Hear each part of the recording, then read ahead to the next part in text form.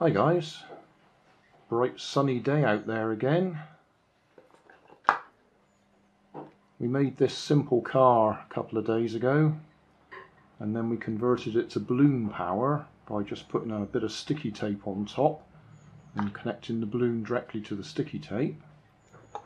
Today I'm going to see if I can convert it to rubber band power. So first thing I'm going to do is take the wheels off again because there's a good chance I'll actually break them if I'm trying to modify the bottle with the wheels still attached. What I want to do is cut the bottom off because then I can reach inside and get to the axle and wrap the rubber band around it. So plan is just to hold that knife and go round and round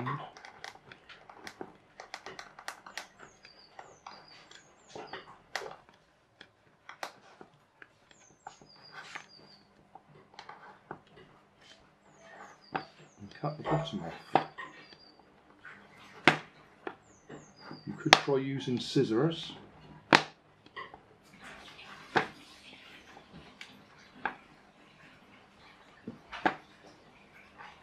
I'm doing it a bit at a time. So hopefully eventually I'll get through. Oh, that's gone offline.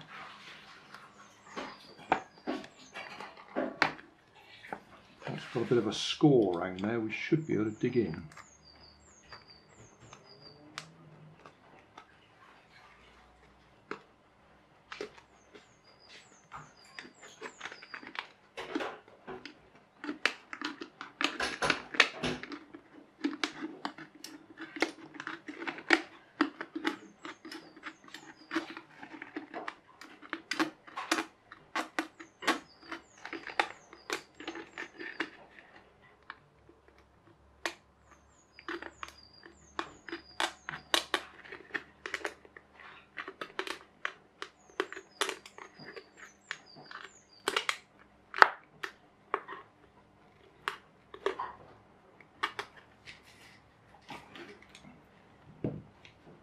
With a pair of scissors. Alright.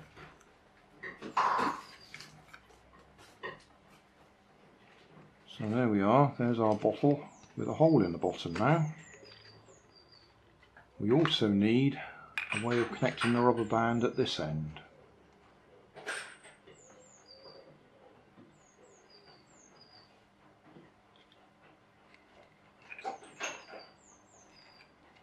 We could just push a hole down through there and we can stick another bit of barbecue skewer down through there.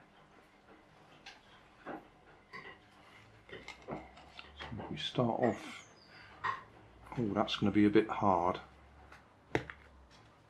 The neck of the bottle is much harder than the rest of the bottle.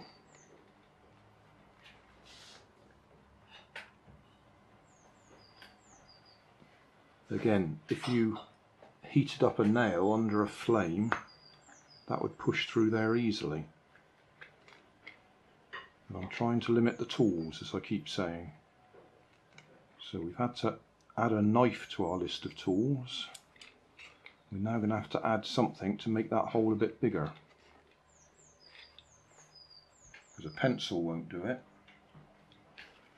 Might be able to use the end of the scissors again.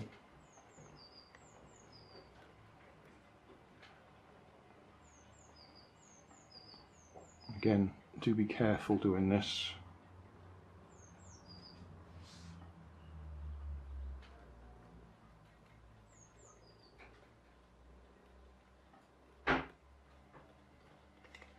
Depends what sort of scissors you've got as to whether they've got a point on the end that you can do this with.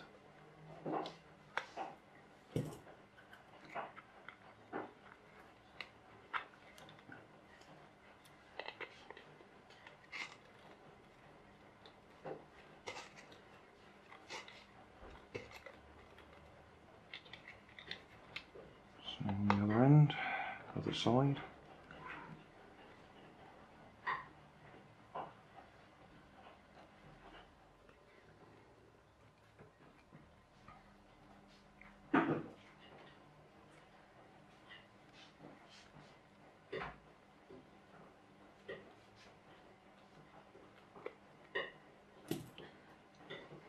It well be best to let an adult do that for you.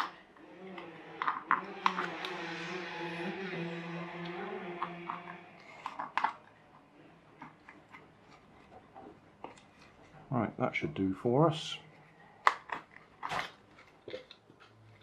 Now you might find when we do this that the wheels start to slip on the axle because when the rubber band turns turns this sometimes it leaves the wheels behind and they spin like that so you could either put some more bits of cardboard on it like we did before to thicken it up. That will help. Or you could just put some sticky tape over the outside. And that'll help hold it in place as well.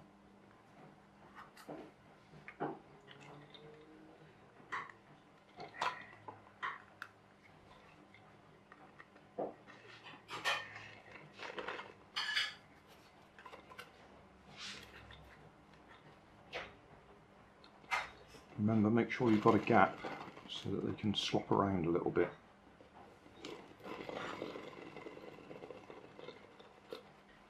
Right, we're now going to need a bit of this to go through there. Your scissors might do it, or you might have to use the knife. If you're using the knife,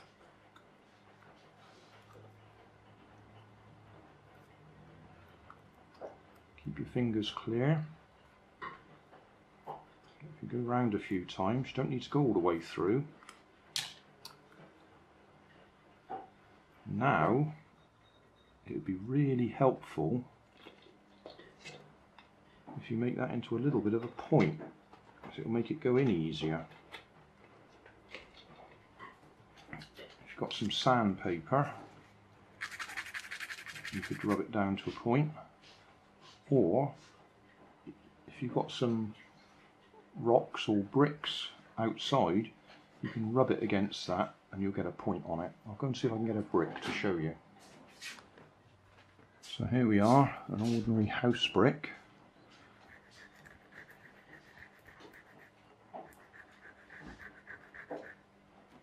And we can use that like sandpaper. You go outside and do this on the wall of your house, you'll probably get in trouble because it's going to leave a mark on the brick.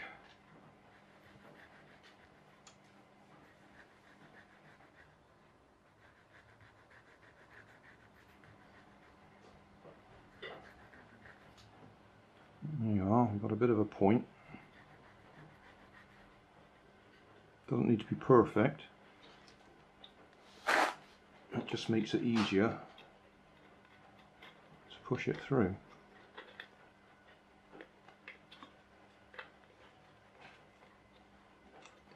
and that's that's how we're going to attach the rubber band at that end. Right, so we'll put this back through.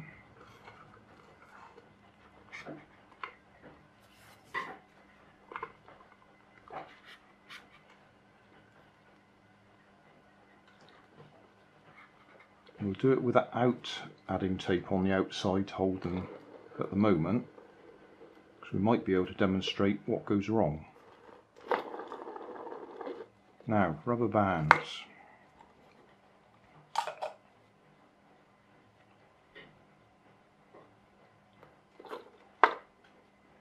We need enough to go from the front to the back. Three of these will probably probably be enough.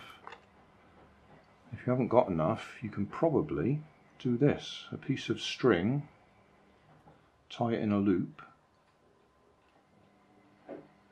and then you put that through the loop of the rubber band,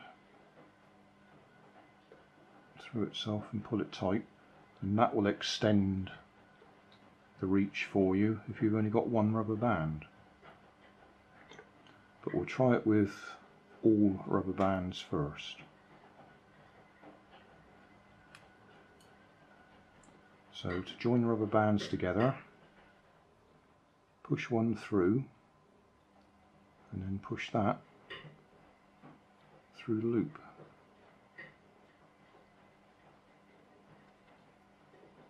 Push that through and push that through the loop. And there you are, we've got longer rubber band now. And we want this to go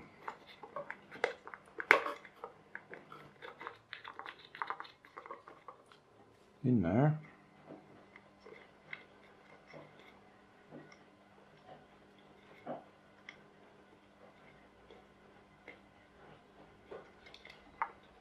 And then hold it in place. Now, this is the bit where it's a little bit awkward. You need to put the rubber band over the top of the axle, turn it round so that the rubber band goes over itself and that will hold it in place without having to put a little hook on the rubber band on the axle. So now that will work. It's best to let the rubber band go underneath that axle, the front axle, the way I've got it there, so it's underneath. So when it drops off the back axle, it drops to the bottom of the bottle rather than laying over the top of that axle because that will slow it down if it's laying over the top. We'll give it a try. So, rubber band.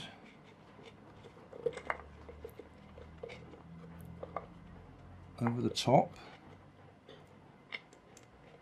Round so it holds itself in place. We don't need to wrap it up too much, we just want to get it to run. Right, wheel spin. Too much power or we can add some weight to it to help the wheels grip. I'll get some weight. Right, I've got an old battery, I'll put a bit of tape on it.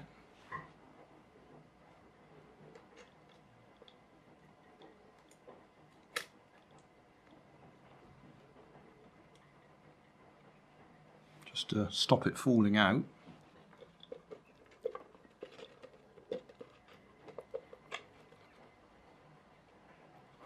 Looks to me like I needed a bit more tape on it, but we'll try it like that.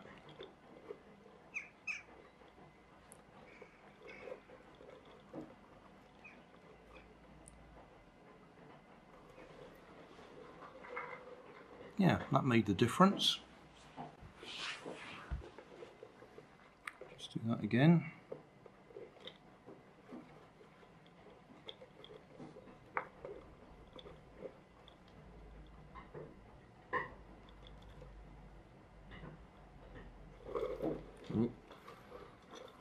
still spun a little bit.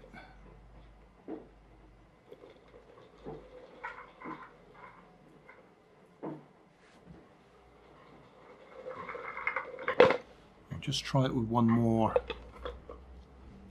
battery in the back there, give it a bit more weight.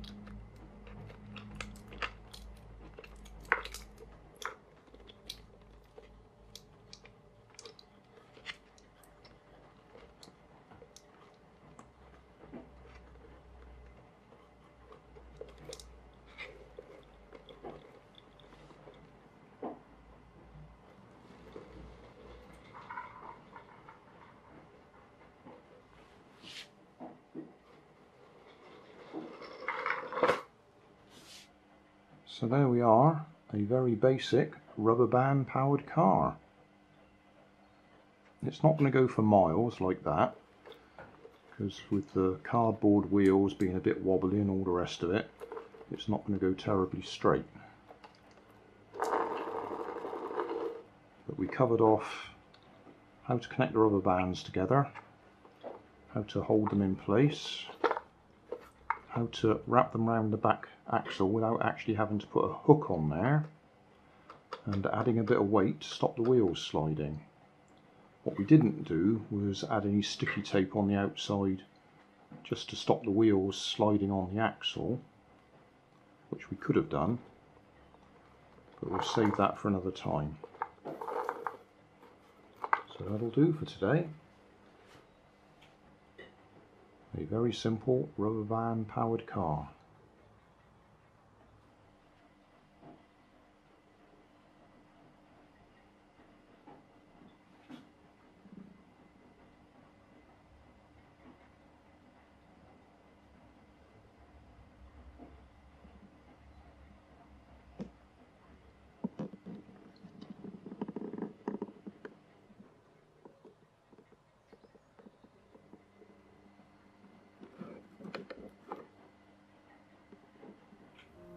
Thanks for watching.